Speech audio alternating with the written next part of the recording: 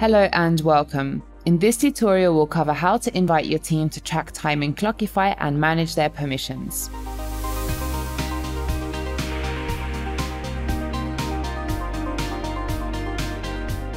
To invite someone, go to the team page and click Add New Member.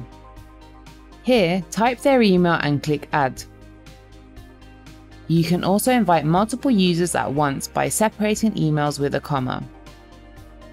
When you add a member, the system will send them an invitation email like this one.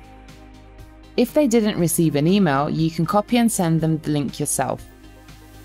Once your teammate opens the invite link, they can enter their name and choose what password they wish to use to log in. Once the user accepts the invite, they'll be part of your workspace and can start tracking time. They can always access their account by logging in with their email and password. In case a user already has an account, to accept the invite, they'll have to log in through the browser and accept the invite from the notification. Then they'll be switched to your workspace.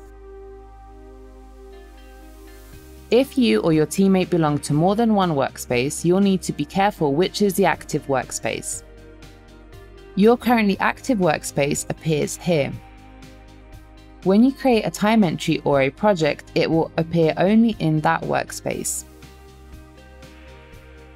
So if you switch to another workspace here, you'll notice that it has completely different time entries, users and projects.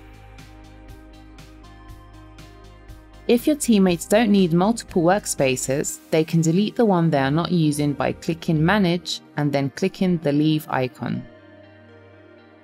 Having multiple workspaces can be useful in case you want to keep all the data separate, but keep in mind that you won't be able to run one report for multiple workspaces.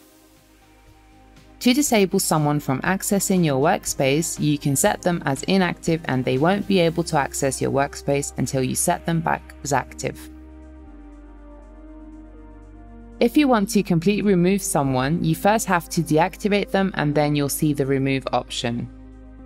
Then all their track time will remain in your workspace, but they will no longer be able to log in unless you re-invite them. If you need more control over who can log in and how, you can integrate your single sign-on system with Clockify via SAML, LDAP or OAuth as supported by Azure, Google, Okta and other major providers. To set up SSO, you'll first need to move your workspace to subdomain, fill in the necessary information, and then prevent your team from logging in using passwords by unchecking the option. You can also check this box so people from your company can join your workspace automatically without having to go through the invite process.